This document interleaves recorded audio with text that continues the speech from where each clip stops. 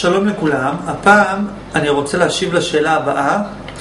מה צריך לעשות אדם כאשר הוא מגיע למצב שבו הוא מרגיש שאין לו תקווה? וכשאני אומר אין לו תקווה, הפעם נדבר בהיבט של אין לו תקווה להבין משהו, אין לו תקווה להגיע לשלמות. בן אדם ישב, חשב, חשב, חשב, חשב הגיע למסקנה, אמר אני לעולם לא אגיע לשלמות, אני לעולם לא אגיע לאמת, אני לעולם לא אבין את עצמי, אני לעולם לא אהיה מאושר באמת. והשאלה היא זה מה עושים במקרה כזה והתשובה לשאלה היא שבן אדם צריך להיות אמיתי עד הסוף. והפעם אני אסביר את הנושא של אמיתי עד הסוף מהכיוון הבא. יכול, כשבן אדם חושב, מרגיש חווה ייאוש ואומר לעצמו, אין מצב שאני אבין את הדבר הזה, אין מצב שאני אבין את עצמי, אין מצב שאני אהיה מאושר. מצד האמת, יכול להיות נכון, יכול להיות שאין מצב שתהיה מאושר. יכול להיות באמת שאין מצב שתבין. אבל, תהיה אמיתי בזה. מה זאת אומרת תהיה אמיתי בזה? אם אין אפשרות להבין, תוודא באופן מוחלט שאין אפשרות להבין. זאת אומרת, אם יש לאדם איזו שאלה והוא מנסה למצוא תשובה ולא מצליח למצוא תשובה לשאלה, יכול להיות באמת שאין תשובה לשאלה, אבל אתה צריך להיות בטוח במיליון אחוז, באין סוף אחוז, לא במיליון, באין סוף אחוז שאין תשובה לשאלה. כי כל זמן שאתה לא בטוח באין סוף אחוז בשלמות, שאין תשובה לשאלה, אתה תמיד בתוכך תמשיך לחפש את התשובה לשאלה ואתה תמיד תמשיך לסבול. ואם אין תשובה לשאלה, אז תהיה בטוח בזה באין סוף אחוז. וכאשר בן אדם אומר, אין שום סיכוי שאני אהיה מאושר, אין שום סיכוי שאני אבין את המציאות בשלמות, אין שום סיכוי שאני יום אחד אבין אה, את מה קורה כאן, עליו לשאול את עצמו, האם אני בטוח בזה באין סוף אחוז? כי אם כן, אז מה בכלל השאלה? אם אין לך בחירה, ואם אתה באמת לא יכול להבין, בזה נגמר הדיון. אם באמת היה ברור לאדם שהוא לא יכול להבין את המציאות בשלמות, באותו רגע, אם זה היה ברור לו בשלמות, באותו רגע הוא היה מפסיק לנסות להבין את המציאות. כי אם אתה בשלמות לא יכול להבין את המציאות, אם אתה בטוח באינסוף, אם כל כולך מלא בידיעה שאתה לא יכול להבין את המציאות בשלמות, באותו רגע אתה תפסיק לנסות לרצות להבין את המציאות בשלמות, וממילא זה כאילו הבנת את המציאות בשלמות. כי אם אתה לא רוצה להבין את המציאות בשלמות, אז במילא לא חסר לך, שאת, לא חסר לך חיסרון שאתה לא מבין את המציאות בשלמות, זה כאילו כבר הבנת את המציאות בשלמות. הצרה היא שאדם לא בטוח, האם אולי אני כן יכול ואני רק לא יודע איך. שם מתחילה הצרה.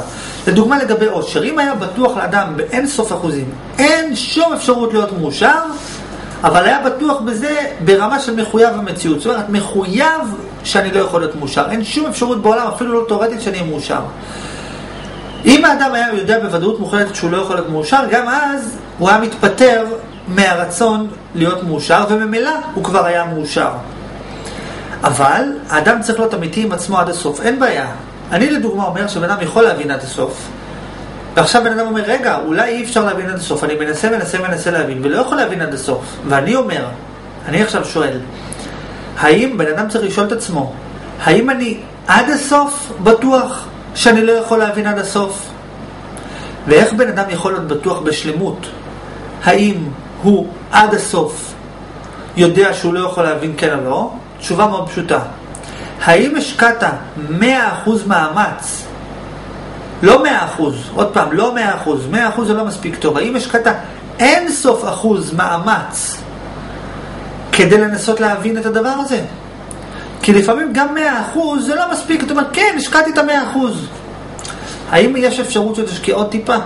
האם לקחת את סך כל הכוחות שלך, את סך כל היכולות הנפשיות שלך, את סך כל היכולות האינטלקטואליות, את סך כל היכולות השכליות, את סך כל הכוחות הרגשיים שלך, האם את כולם, האם בכל הכוח שלך האפשרי עלי אדמות, האם בכל כולך ניסית להבין את עצמך? האם לקחת את סך כל הכוחות שלך ובסך כל הכוחות שלך ניסית להרגיש טוב? או שאמרת, כן, אני מאוד מנסה להרגיש טוב, אבל תראה, לא הצלחתי. מה זה לא הצלחת? ניסית במוחלט? במוחלט, זאת אומרת, אין לך אפילו טיפת כוח אחת אחרונה שנגמר לך הכוח. כי באמת היית מנסה בכל כוחך ובאמת היה נגמר לך הכוח, אז היית מתייאש. וכשהיית מתייאש לגמרי, הרצון שלך היה מפסיק. הסיבה שהאדם רוצה להיות מאושר, זה בגלל, הסיבה שאדם לא מאושר, זה בגלל שהוא רוצה להיות מאושר. והסיבה שהוא רוצה להיות מאושר, זה בגלל שבתוך תוכו האדם יודע שמצד האמת הוא יכול אולי להיות מאושר. אבל אם היית מקדיש 100% מהכוחות שלך להיות מאושר, ולא היית מצליח, אבל 100 עוד פעם, על האינסוף אחוז, את סך כל הכוחות שלך, אז היית מבין בידיעה שלמה וברורה שאתה לא יכול להיות מאושר, ואז ממילא היית מפסיק לרצות להיות מאושר, ואז ממילא היית מאושר. אבל כל זמן שהאדם לא הקדיש עדיין 100% מהיכולות שלו למען ידיעת האמת, למען מציאת תשובות לשאלות, למען כל דבר אחר, תמיד יהיה לו את הספק האם הוא יכול עדיין להשיג גדול יותר, טוב יותר או לא. כי האדם תמיד רוצה להשיג יותר טוב. למה? כי תמיד יש אפשרות להשיג יותר טוב. כל זמן שלא השקעת אין סוף מאמץ להשיג את הטוב ביותר, תמיד אתה אומר, יש אולי יותר, יש יותר טוב. בן אדם תמיד אומר לעצמו, אולי אם אני רק אתאמץ עוד קצת יהיה יותר טוב. וזה נכון. כי באמת, אם תתאמץ עוד קצת, תמיד יהיה יותר טוב. אבל, ואיפה הסוף? הסוף הוא פשוט. כאשר תתאמץ באין סוף אחוז להרגיש יותר טוב, אז ורק אז אתה תרגיש טוב באמת. זאת אומרת, האדם כל הזמן מחפש להרגיש יותר טוב. ואיפה הסיפור הזה נגמר? כאשר הוא ישקיע אין סוף אחוז מאמץ להרגיש יותר טוב, אז הוא ירגיש יותר טוב באמת, ואז ממילא הרצון שלו להרגיש יותר טוב ייעלם. ונסכם. אם אתה לא בטוח, אם אתה יכול, אם אתה מיואש מכך, אתה אומר, אין אפשרות שאני אשיג שלמות, אין אפשרות שאני אבין את עצמי, תשאל את עצמך, האם אתה בטוח בזה באין סוף אחוזים? האם תאורטית יכול להיות המצב הכי קטן בעולם, שבו אתה אולי כן תבין, שבו אתה אולי כן יכול למצוא תשובה, שבו אתה אולי כן יכול להיות מאושר, שבו אתה כן יכול להרגיש טוב? אם אתה בטוח באין סוף אחוזים שאין אפשרות, ממילא אין שום שאלה בכלל. מה השאלה? אין אפשרות, אין אפשרות. לא, אבל אולי יש איזו אפשרות שאני לא יודע עליה. אה, זה אומר שעוד לא חיפשת מספיק טוב. אז שב עם עצמך, תשקיע אין סוף אחוז מאמץ ותנסה להיצמד לאמת. ככל שתנסה להיצמד לאמת, החיים שלך יהיו יותר קלים. אתה לא יודע מה האמת? גם זה בסדר גמור. תחפ... תמשיך לחפש עד שתמצא. ועל ידי שאדם משקיע אין סוף מאחוז מאמץ, מה שאני בעצם בא להגיד, אתה לא בטוח, אין בעיה. נגיד שבן אדם אומר, השכל שלי מוגבל, אני לא יכול להבין. אבל בזה עצמו אתה בטוח במאה אחוז? איך אתה יודע שהשכל שלך מוגבל? הרי גם זה שהשכל שלך מוגבל, גם את זה אתה יודע בשכל המוגבל. אתה לא יכול להיות, בן אדם לא יכול להיות בטוח, אפילו לא בכך שהוא לא בטוח. כי אם אתה לא בטוח בשום דבר, אז איך אתה יודע שאתה לא בטוח בשום דבר? אולי אתה כן בטוח ואתה רק לא יודע שאתה בטוח. אולי אם אתה לא בטוח בכלום, אל תהיה בטוח בכלום. אל תגיד, אני יודע שאני לא יודע. כי אם אתה אומר, אני יודע שאני לא יודע, אז אתה עדיין יודע.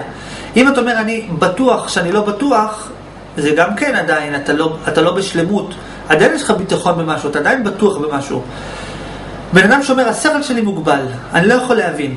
אבל אם הוא מוגבל, איך אתה יודע שאתה לא יכול להבין? אולי בכל זאת, אתה כן יכול להבין, רק אתה לא יודע את הדרך. אולי בשכל בלתי מוגבל, אתה יכול לגלות שגם שכל מוגבל יכול להבין דברים שצריך שכל יותר גדול. אולי בכל זאת. מה שאני בעצם בא להגיד, שבן אדם צריך להגיע לאמת מחויבת. בן אדם צריך להיות אמיתי עם עצמו עד הסוף. האם אני באופן מוחלט בטוח לי שאני לא יכול להבין? אם כן, פה נגמר השאלה. ואם יש שאלה, ואם אני עדיין מנסה להבין, ואם אני עדיין שואל מה לעשות, זה סימן שאני עדיין לא בטוח במאה אחוז שאין פתרון. ולכן אני אמשיך לחפש את הפתרון באין סוף אחוז, ואז או שאני אמצא את הפתרון ובזה נגמר הדיון, או שאני אבין שאין פתרון, וגם, אבל במוחלט, באין סוף אחוז אני מבין שאין פתרון, וגם אז נגמר הדיון, אבל בשני המקרים אני ארגיש טוב באמת. ושיהיה לכולם המשך יום של ודאות מוחלטת. תודה.